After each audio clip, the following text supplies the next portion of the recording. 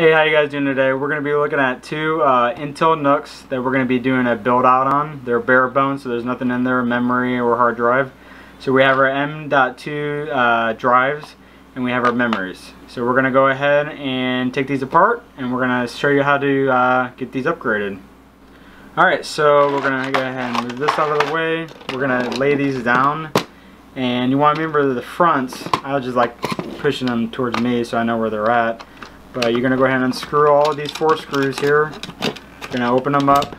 And uh, you only need this if you're going to be doing a solid state drive or a regular spinning drive. You can slide that in there. But we got the M.2 uh, uh, drive. So we're going to be loading these up right in here. And then our memory stick there. And same thing for this one. Four screws. And just pop this baby off. And let's go ahead and get our memory. And we can go ahead and load our memory in. So here's our memory. We're just doing uh, two uh, DDR3 um, L, which is the laptop standard uh, memory sticks. So you're just going to slide that in there, directly in, and then push down until you hear the clicks. So same thing. Make sure you match up the notch, push it in all the way, and then push down until you hear the click. And same thing over here. Slide in, push down. Match up the notch. Good. So now we got our memory installed. Uh, we're going to want to take out these two screws so then we can slide our M2 uh, SATA drive in there and then we can go ahead and close her up and that's really all there is to it. So just to take out the screws.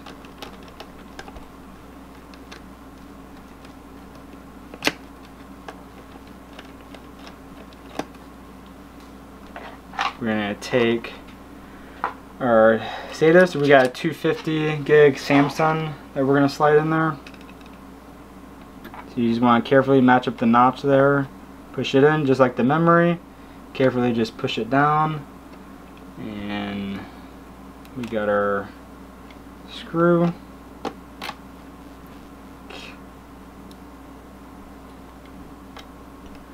You always want to put pressure down on the drive and hold it in place until you get the screw snugged.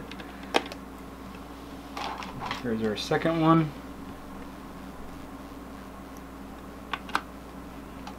Same thing, push down, grab the screw, hold it down. Oh, the magnetic screw gets screwed up.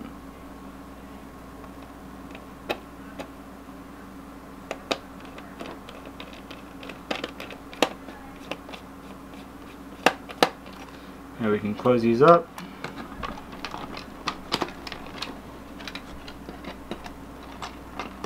And I like using a little bit powered screw. And always make sure when it says the front that it's always the front USB ports where the power button is up at. So always make sure you have it in the right place.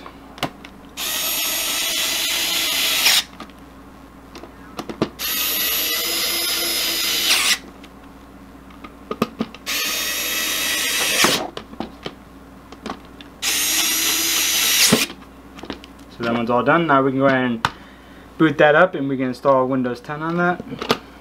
This one didn't close all the way, so we just have to see why. some of these wires just get pushed in. There we go. So same thing, just tying these four screws up.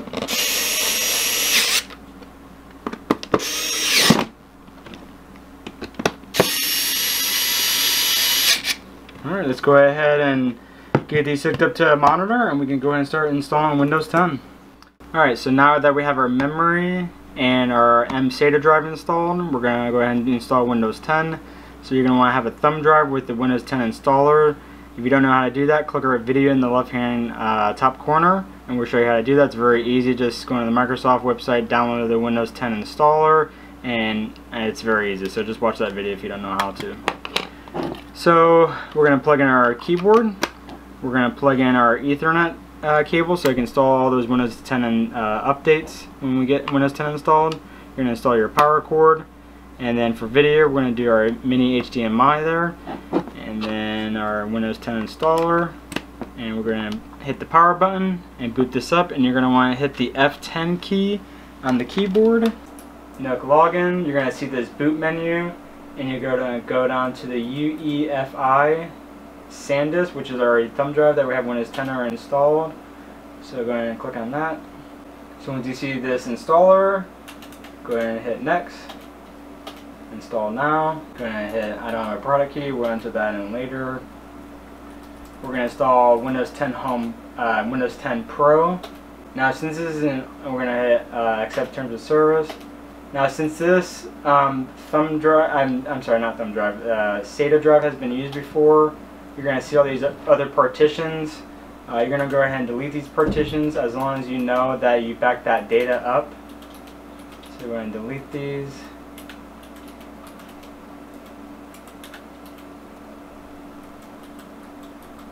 Oh, I hit the wrong button here. Hold on. Delete. So hit next.